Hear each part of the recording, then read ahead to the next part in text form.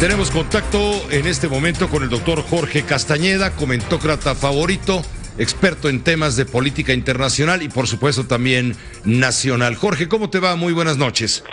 ¿Qué tal, Pepe? ¿Cómo te va? Gusto saludarte como siempre. El gusto es nuestro, claro, como siempre, eh, como, como siempre.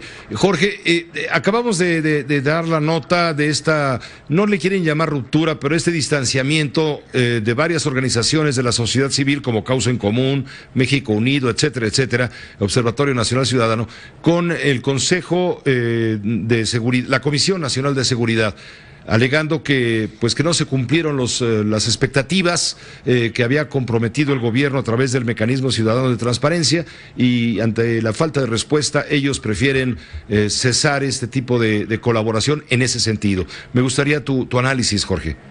Mira, Pepe, a reserva de tener más información y la verdad no he estado en contacto durante el día de hoy con muchos de los eh, representantes de estas organizaciones que son muy eh, amigos míos y los estimo mucho y hemos hecho muchas cosas juntos en estos asuntos.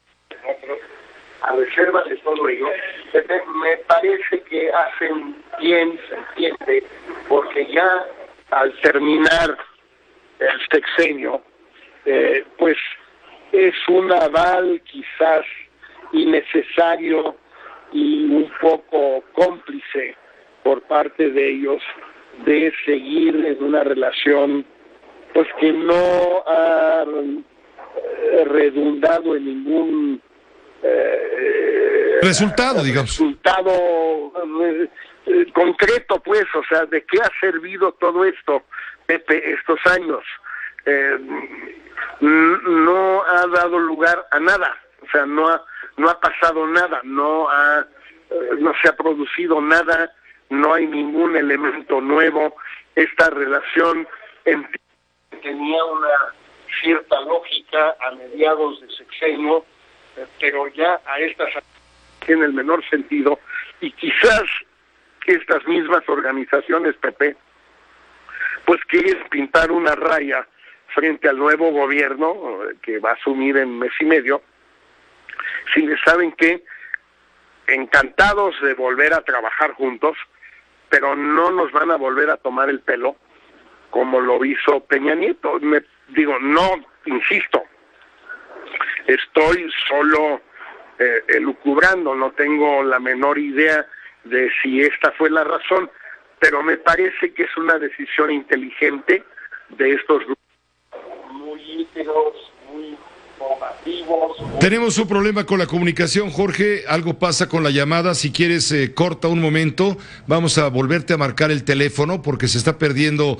eh, parte de lo que estás ahora analizando eh, en, este primer enfoque a bote pronto de esta decisión que tú marcas como poner una raya, un, un punto y aparte y mejor enfocarse a ser escuchados en esta intención de los mecanismos ciudadanos de transparencia que tanta falta hacen y sobre todo para la la búsqueda de resultados en materia de seguridad, pues se lo está planteando ya directamente al nuevo gobierno y no seguir siendo, como dices tú, aval de un gobierno que finalmente no, no les cumplió. Jorge, ¿estamos en contacto? ¿Me estás escuchando? No, Pepe, que se nos ha...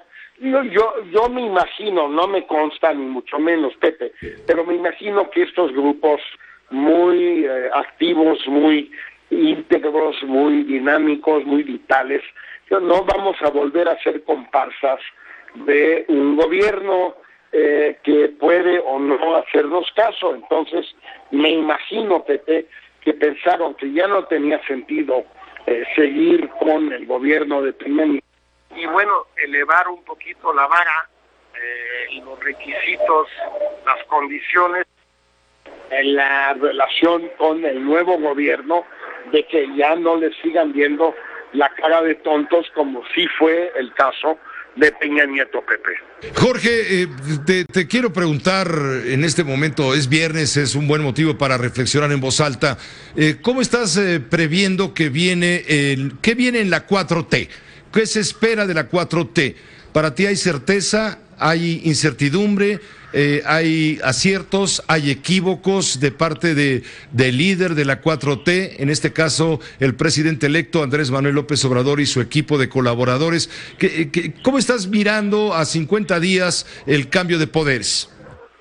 Mira, Pepe, la verdad, yo creo que como muchos mexicanos, yo me encuentro en una situación de eh, confusión, de desconcierto. Hay cosas que me agradan, cosas que digo, estoy totalmente de acuerdo. Darte un ejemplo, 50 mil eh, efectivos más para las fuerzas nacionales de seguridad y me da más o menos lo mismo, Pepe, si son verdes, azules o grises, es decir, eh, del ejército, de la marina o de la policía federal, me da lo mismo, me parece una decisión sabia que de alguna manera eh, eh, da a entender que las policías municipales y estatales no sirven, digamos, elementos positivos. Veo otros, otras cosas que me gustan. Y luego veo una gran confusión, Pepe, de un equipo que, aunque se haya formado ya desde hace dos meses y medio o más, pues la verdad no da la impresión de haber tomado las decisiones que vienen. Me podrían decir, no tendrían por qué responderme a mí, a ti sí, Pepe, pero a mí no, de por, bueno, cuando lleguemos el primero de diciembre ya eh, tomaremos decisiones. Muy bien, pero el primero de diciembre, ¿sabes lo que pasa, Pepe? Que cada día, de aquí al primero de, diciembre, es un día menos. Eso parece que es eh, imposible de, de cambiar. Entonces, pues me gustaría ya tener una idea más clara de qué van a hacer con el aeropuerto, con la refinería, con el tren Maya, con el proyecto de los minis, con el proyecto de los adultos mayores. Con la seguridad, Jorge. La seguridad, que es el tema que más agobia a la gente. Tú estás diciendo, se está hablando por parte del presidente electo de reclutar o de convocar a 50 mil jóvenes para adicionarlos al ejército, a la Marina, a la Policía Federal. Te está mandando también entre líneas el mensaje de que por lo pronto la fuerza va a prevalecer sobre, sobre el tema de la, de la capacitación, y la superación de las policías, en fin. A, a mí me parece un error enorme seguir con la guerra, Pepe. Llevamos más de 10 años tú y yo platicando sobre ese tema. Mi posición ha sido muy clara. La guerra fue un enorme error de Felipe Calderón y sus y ya después de Enrique Peña Nieto. Pero bueno, si quiere seguir con la guerra López Obrador, pues quizás es mejor hacer la guerra con gente en la Policía Federal que con las policías municipales o estatales que no sirven de nada. La pregunta es, obviamente, ¿de dónde, por qué cree López Obrador que la guerra va a dar más resultados? Y llamarle a la guerra paz no significa nada, Pepe. Pero todo esto, pues, mira, yo no, yo creo, yo viví una transición como esta con Fox, entiendo muy bien que no hay condiciones siempre para tomar decisiones. Quizás este grupo eh, se adelantó pensando que eran fáciles las definiciones antes de llegar al poder, pero finalmente es un plazo eh, muy poco mexicano, Pepe. Es algo que eh, en México no nos gusta. El primero de diciembre, Andrés Manuel va a ser presidente de la República. Y ese día ya no es lo que voy a hacer, ya es lo que le toca. Y ya le toca cargar con los muertos, con los secuestros, con la extorsión y con la, eh, la protesta social ante la falta de, eh, ante la certeza de seguridad y por supuesto ante la violencia. Como dice alguien, perdón que no recuerde hoy, ahorita Pepe, dice alguien, creo que es Carlos Fuch, pero no estoy seguro, Pepe, em, a partir del primero de diciembre, digamos al mediodía, los muertos son de Andrés Manuel, ¿eh? son suyos.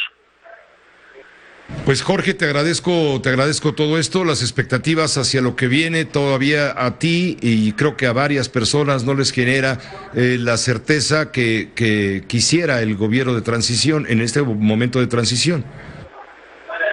Para nada, Pepe, pero yo, yo extiendo más que el beneficio de la duda, solo que los plazos se van achicando. El primero de diciembre en la tarde esos muertos son de Andrés Manuel, ¿eh? ya no son de Peña, como los de Peña ya no fueron de Calderón. Son suyos. Cada quien compra los muertos que le tocan. Gracias, Jorge, por tu comentario, como siempre. Un fuerte abrazo, Pepe. Otro fuerte para ti. Gracias, eh, Jorge, doctor Jorge Castañeda.